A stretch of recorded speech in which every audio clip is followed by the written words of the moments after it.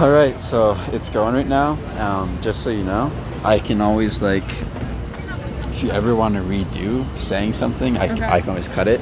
Okay. And like, I'm sure this will have lots of cuts. Like this won't won't be in it. Really? I don't know. I think because you said that it might be now. it will surprise the viewers. Hi, friends. What is up, everybody?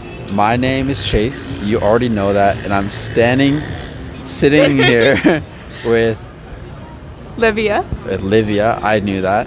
I definitely did Yeah? because I just I, Right. I just said your name. Right, right, right. That was just a test. Um, sitting here with Li- with Livia, and um, I'm gonna ask you some questions, and we're gonna keep alternating. Look, that's per that was per that was perfect again.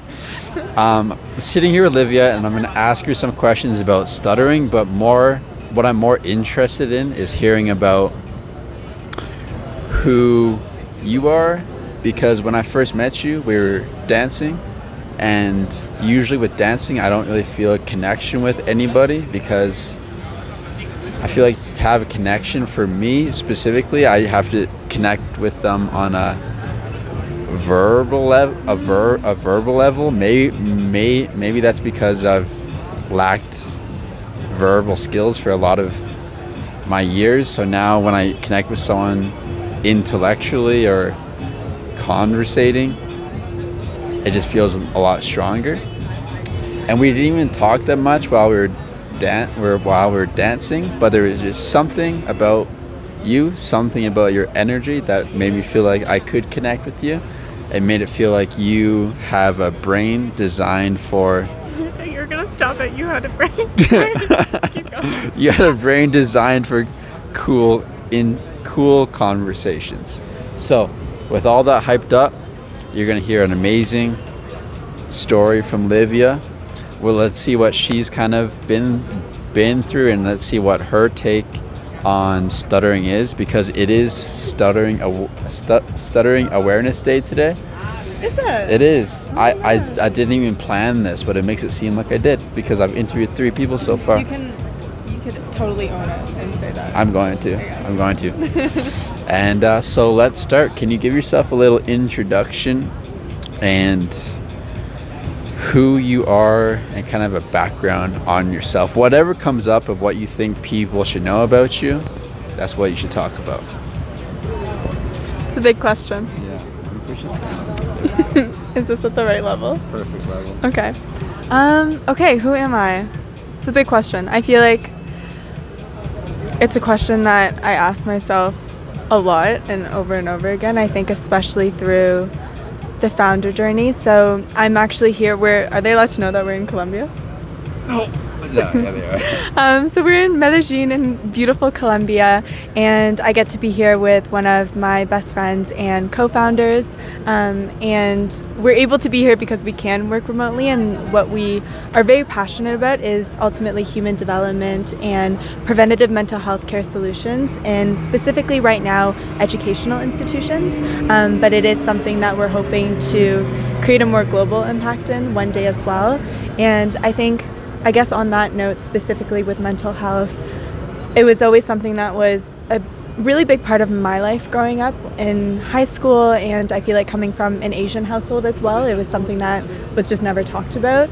Um, I remember going to my mom about wanting to see a therapist at some point, sorry, wanting to see a therapist, and I think she was just like, that's stupid, like, there's nothing wrong with you, like, Yeah. kind of thing. Um, and so I kind of just like kept going with life and then university gives you a big slap in the face sometimes. And i think just being at university at the time also going through just like the transition of like friends of identity of i was going through like a bad relationship breakup at the time as well and i just felt like a lot around me was changing and i didn't know like a lot of people i think just how to cope with that. Um, and it came to a place where when i was in university um, the thought of like also self harm came back to me, and I think there was a moment I remember in my res where I kind of like looked at myself and I was like, I, I didn't want to feel this way anymore. Like I didn't want to. It felt like I was at like a fork road, and I was like, I can either go down this path or I can go down this one. And I was like, no, like I, I want to change. I don't want to feel like this. I don't feel like this is who I am. Um, and then I think the rest is history. I think I just dove into mindfulness, meditation. I would say meditation like saved my life in many ways. Um, I had a lot of really close friends that went through a, a really bad experience with the mental health care system, and I think that angered me a lot. And I felt like there were there needed to be a lot more people in this space that genuinely cared. And how do we bring that to the table, and how do we create a more awareness around that as well? So yeah, I think that was more like very specific on mental health, but it, it's something that personally I'm really passionate about. Um, other than that, here I like to learn bachata. it's super fun. The culture is beautiful here, and I love traveling, meeting people. Um, and I agree. I think you also share a very warm, welcoming, and curious vibe too. So thanks for bringing us here. Yeah, my pleasure. Okay, so now and for everyone to know like I I'm learning about Livia right now as well. Like we, we didn't talk about this before. Like just be just before this, Liv uh, Livia was talking to my friend Alex, and I almost was like trying to plug my ear because like I didn't want to hear about your story until now. You talked about how a lot of your friends went down the mental health, like trying to get help, and it wasn't something that you you were very proud of, like the the way that they were treated, and you talked about it was also because they didn't really care that much. Why do you feel caring is such a such a big deciding factor if someone like would you say if someone cared and was helping versus someone who didn't care and was still helping do you think they like how would the outcomes change? And why is that such a big thing for you? And why why is why does that have such an emotional impact on you if someone cares? That's a good question. I don't think anybody's asked me that before. Um, i think ultimately and this is maybe a little less sciencey but i also think it's pretty sciencey and there's been some proof to it but i do believe that ultimately like as human beings, like we are energy. Um, and I think our emotions carry energy, our words carry energy, and especially when someone's in a very vulnerable state, I truly believe that they're also more vulnerable to the emotions, the energies, and the feelings around them. And it, it kind of, at those times, you can feel like an open wound where you're open to receiving anything, you're really looking for that help and support. And when you're met with someone that and I'm sure everybody has felt this where there's just certain things where you can't describe through an interaction with someone. Where I think one of my favorite quotes is like um, people may forget won't remember what you tell them but they'll always remember how you, they make you made them feel.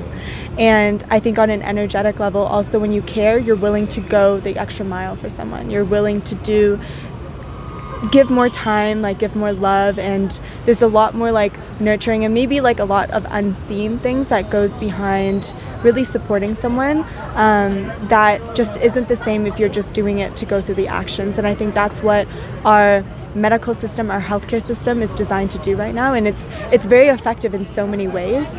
But on an emotional stance, I think a lot of people are left behind and it creates a very sterile environment.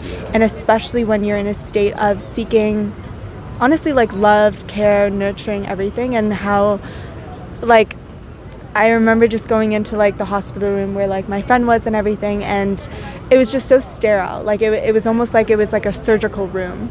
And it was probably the opposite of what anybody would want to be in um, when they're in that vulnerable state. And I think if we led with love first, human first, rather than just like a number, a patient, a person to get through the system, we would see very, very different results in the medical space.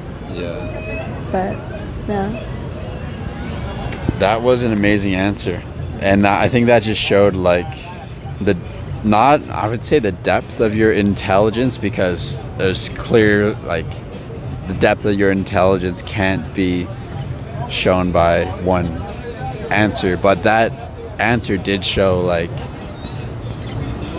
how much you think past the surface level. Like a lot of people that I could, I would ask that question to, they would give all unique answers, but very rarely would I get an answer that that that deep and that true to like what and this is this is um biased because it's a it's a answer that I also very agree with. It's like love and self acceptance and all of that is is the answer.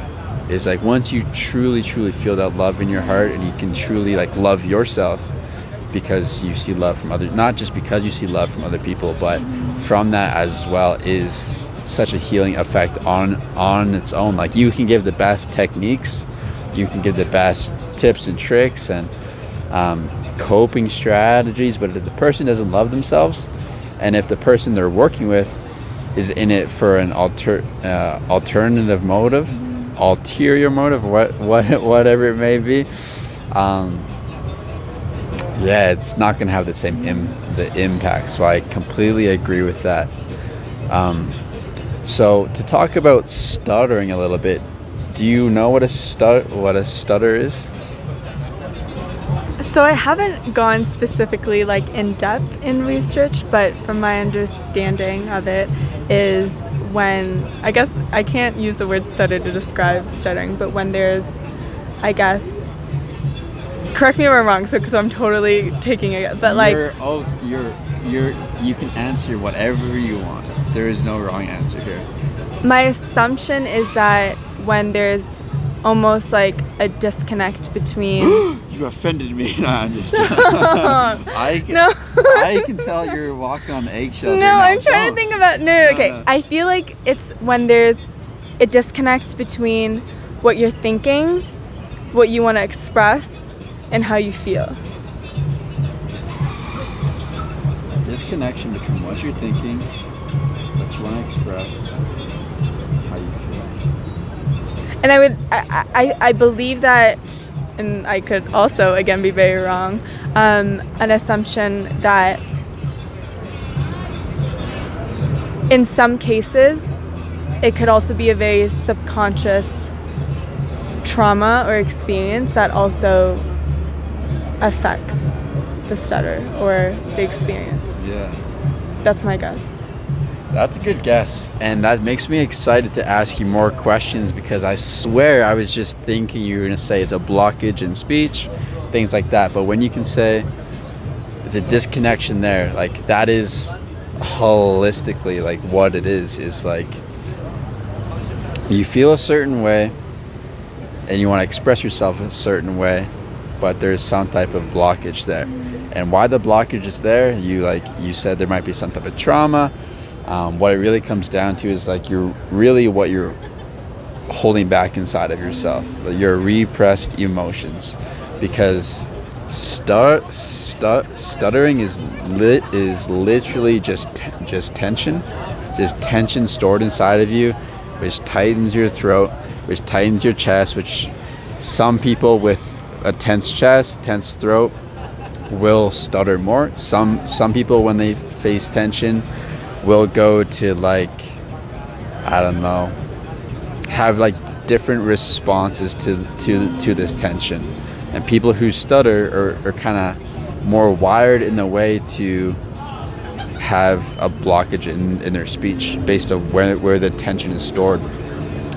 And why this tension is stored can be a wide variety of reasons. Can be trauma, can be just feeling anxious, can be holding some fear of a specific outcome, can be from an inner resentment they feel to someone that they're not letting go of. Like there's a million reasons, but it's really re- repressed emotion that you don't feel is safe to express and safe safe to feel and you don't give yourself the acceptance and the recognition to feel these emotions and allow yourself to process them.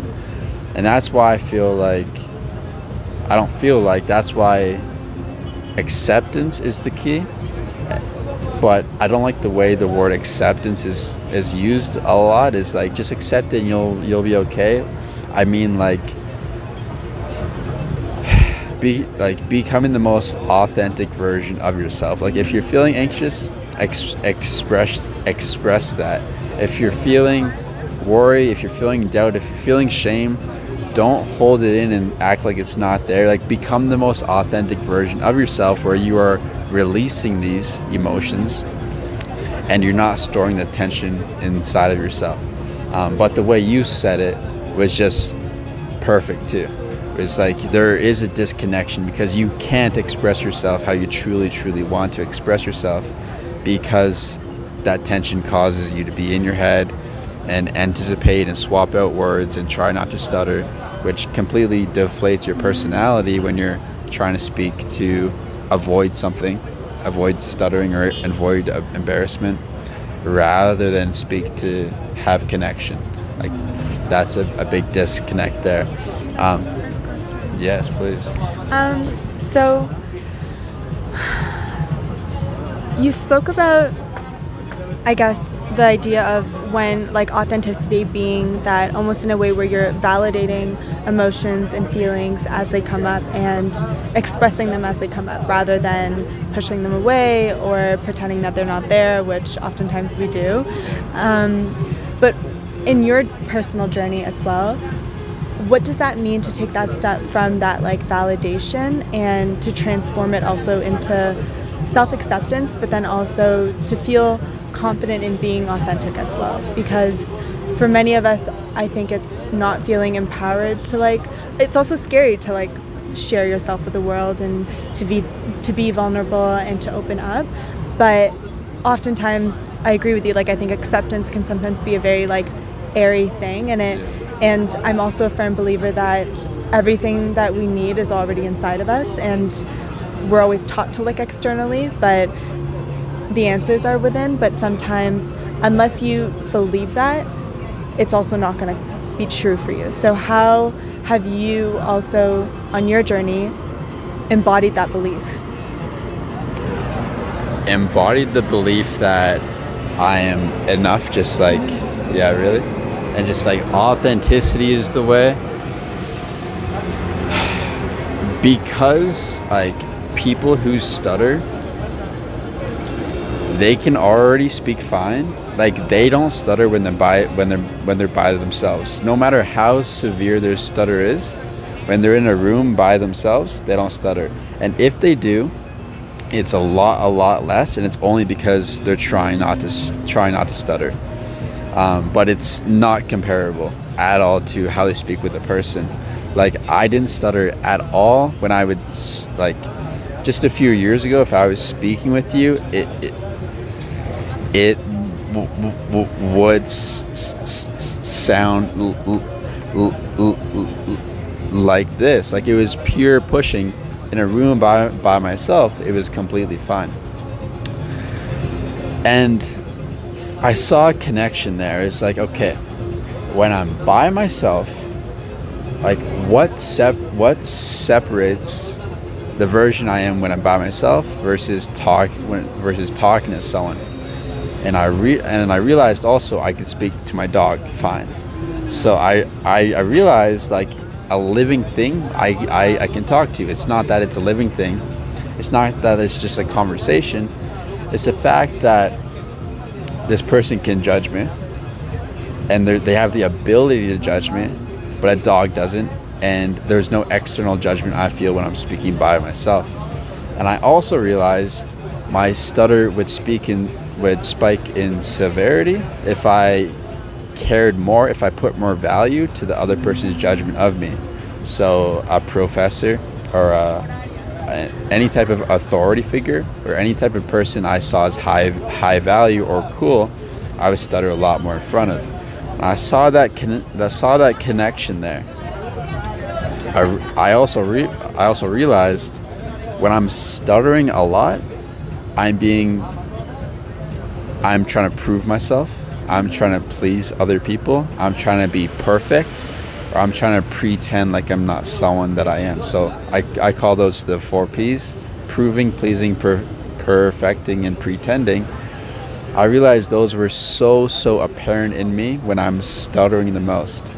When I'm the most fluent, when I'm the most effortless, I'm not thinking, I'm not trying to prove myself. I'm just in the moment, present with the person and I made the connection when I'm present in the moment, not stuttering, I'm saying the things I want to say. I'm being the person, I'm moving my body the way I naturally do without the filters getting in the way of like, is this okay to do in this moment? Will they still accept you? I just do it. And there's no extra filters. And that's when I'm the most authentic. That's when anyone's the most authentic when there isn't the fil the fil the filters there, seeing if this is okay to do in this in this situation. And there's the most filters when I'm stuttering the most, when I'm trying to prove and please and just be like have that front up to not get judged from the other person, to not get a weird look, to make sure they don't see me as weird. I'm pretending and I'm putting on an act. So I really saw that connection there, and I realized it's not just with me. Every person who stutters is the same way. When they have that front up, that's when they stutter the most. And that's when they're re- repressing their true emotions. How they truly feel, they're holding back and trying to present a version of themselves that will get the most likes, get the least amount of judgment. So I realized if I truly want to overcome my stutter, I have to learn to express myself as if I'm in a room by myself to other people. How am I not doing that in conversations right now? And how can I feel as safe as if no one is judging me when I'm speak when I'm speak when I'm speaking to someone. So that re- that realization is like being becoming the most authentic version of yourself allowed me to speak like allowed me to actually actually speak to people. Um, so there was no other way around this. I had to become authentic in order to speak, and uh, that was that was the main um, realization I had that like you have to express yourself. If you try to hide, you're you're going to pay for it. Thank you for sharing. I don't think I've ever also like thank you for the crash course on like how it like feels and like what that journey looks like. I think even from my perspective from hearing it like this like to me it also sounds like almost like yourself and like people who have experienced like stuttering that i would almost say that you have probably a stronger connection to your body than most people do.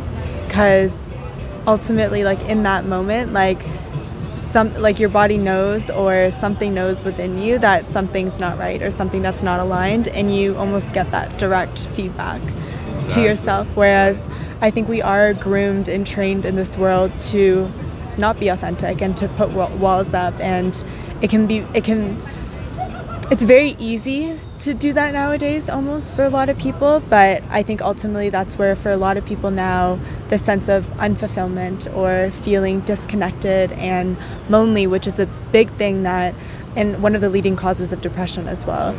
And for a lot of students that we see because it can feel like even with social media like not feeling like you can express yourself in the way that you want. Like and like you were saying like judgment. And i also believe judgment carries such a strong energy with it um, and I feel that incredibly. And I think one of the biggest things, even trying to like build a business and being, and I've noticed even sometimes with like my male friends and certain things where like, I, if I feel like someone is valuing my words for less than, then I definitely hold myself back.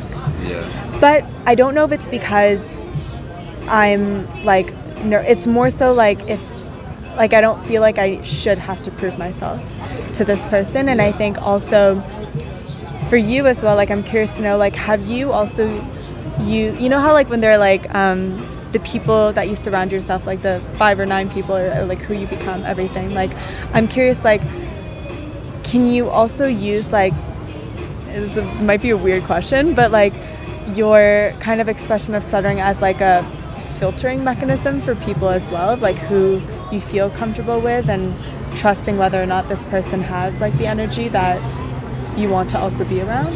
Yeah. That is an amazing question.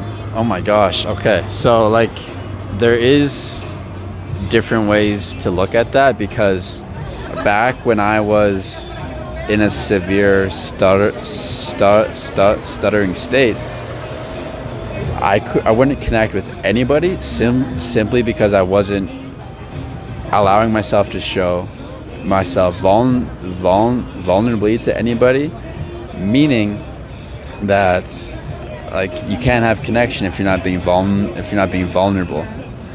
Um, you're like you don't put yourself in that energetic state to attract the people that are going to be right for your life if you are not um, there your, your yourself. So I feel like yes, there like your the stutter is the ultimate filtration process, uh, way to filter people out.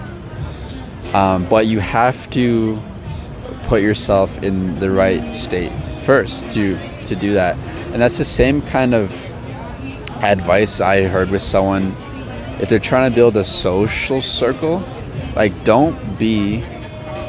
This sounds harsh, but like don't be a loser trying to be in a social circle with amazing people. Like you are just not going to attract them into your life.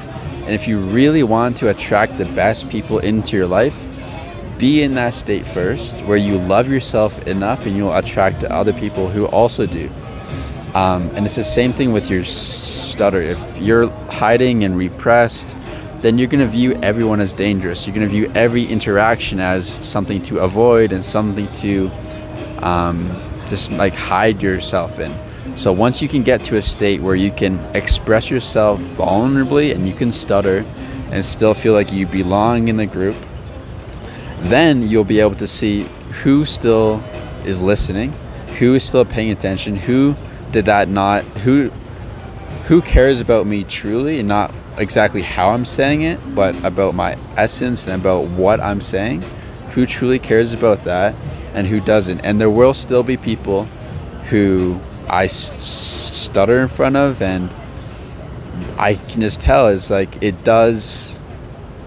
It does get them distracted and does get them like not as not as invested or, or like they might even talk over you during a block or something like that and that's not saying they're a bad person but maybe it's just not the person that is at the stage in your in their life where they would be a right fit to, to be with you and um, when you're in a state where you can express yourself vulnerably 100% you you will see the people that are right for you in your life and you'll also see the people that just don't connect with you that well.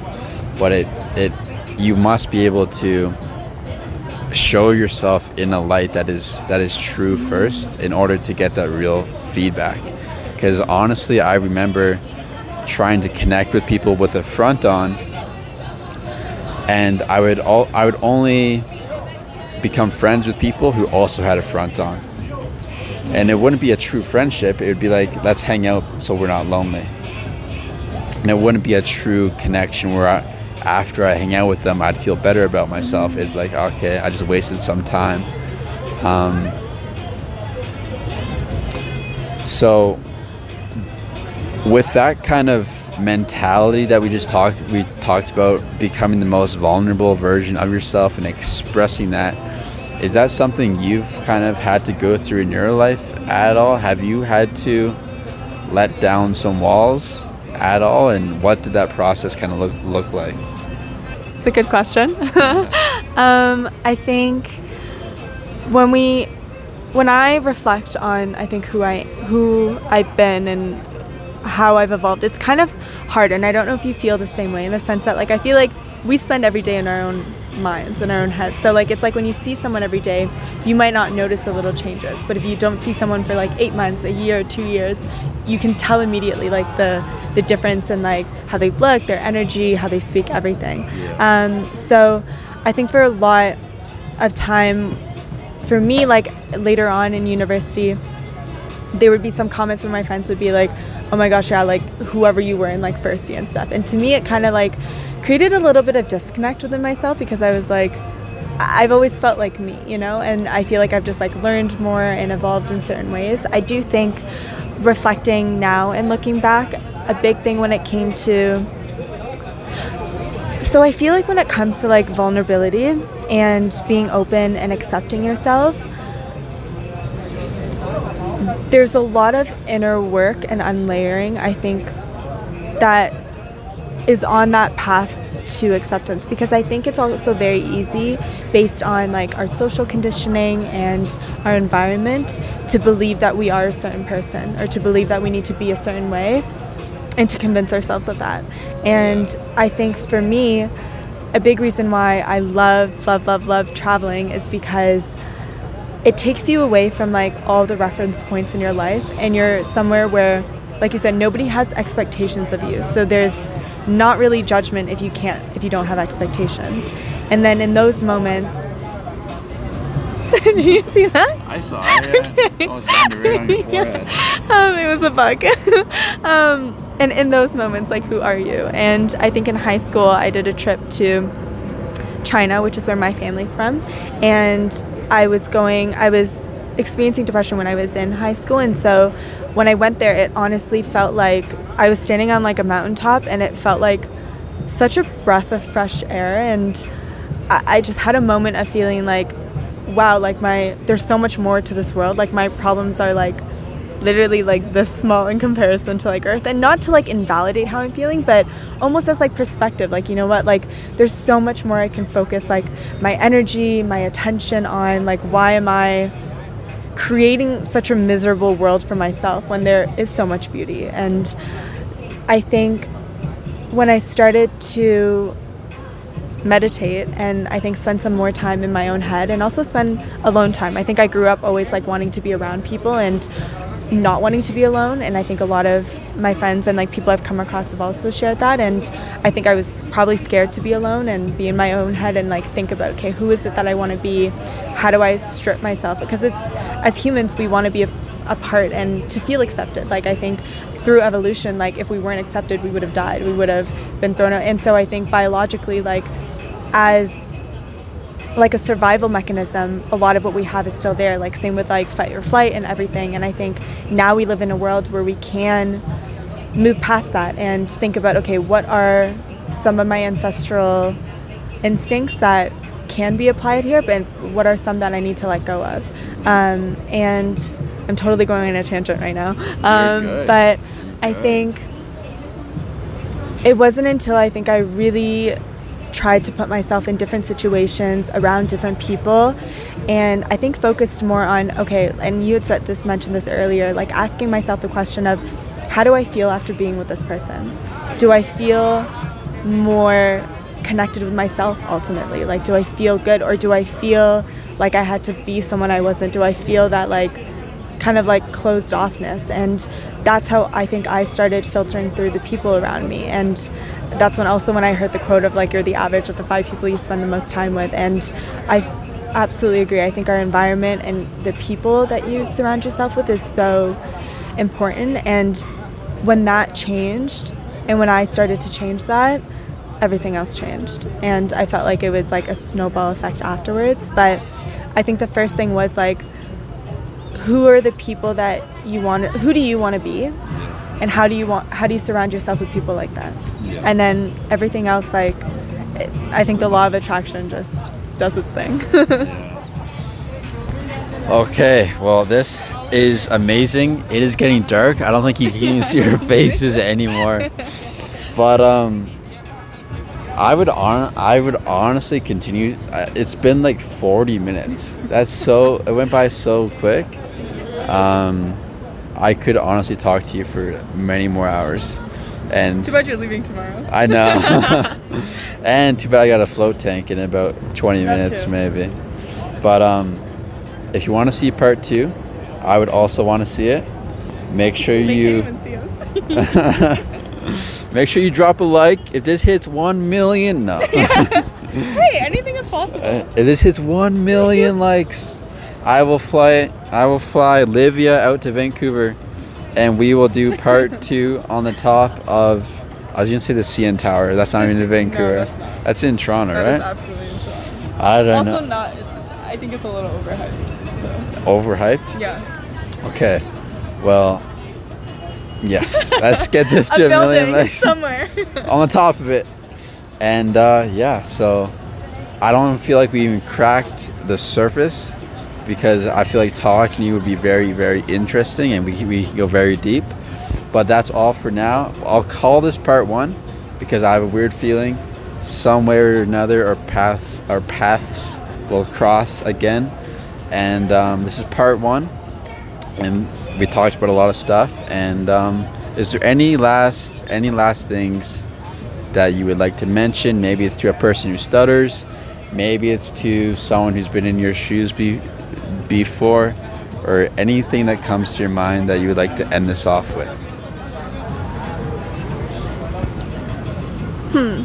I think the first thing that comes to mind is I think I just want to take a moment to also acknowledge you and I'm really excited to check out your YouTube channel after this as well and like hear from the people that like you've connected with and what you're sharing. I think it's really admirable to also like put yourself out there and it takes a lot of courage and I think to just create that platform and to create space for yourself as well to learn and evolve and to continuously seek that because that can be challenging as well for a lot of us and I think there's not a lot of people in this world that I think follow their intuition and follow their heart and listen to like the energy and like the body and like everything around them and I think you do a really good job of that and I appreciate you also like bringing us here and I know I said that at the beginning but it's been I think traveling and meeting people that are so much like are so passionate about themselves, but then also other people, um, and sharing that the world is really special. And I can only imagine how many people that you probably already impacted. So, yeah, thank you. Thank you so much for that. Thank you so much for that. I felt that. I felt it, and and uh, thank you as well for showing up. I legitimately met Livia two days ago not even a full two days ago. And I asked her yesterday if she wants to shoot a video, and she said sure. Takes a lot of courage to meet up with a stranger like that. Could have kidnapped me. Could have kidnapped you, still might, who knows. And uh, yeah, thank you guys for wa- for watching. I hope that was helpful to anyone at any point at any point of your journey. I know it would be. And uh, I love all you guys. If you want to book a free one on one call with me to see if you would be a good fit, if you want to overcome your stutter, see if you'd be a good fit for my program, click the, clo- click the closest link down below in the description and book your free one on one call. And I'll be speaking to you soon. I love you. Peace. Bye.